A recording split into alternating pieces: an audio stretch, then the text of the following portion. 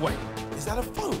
Look at the performance, the graphics. That thing's a gaming machine. A new challenger. Is that Faker? That man's a gaming legend. Everyone, fasten your seatbelts. And here we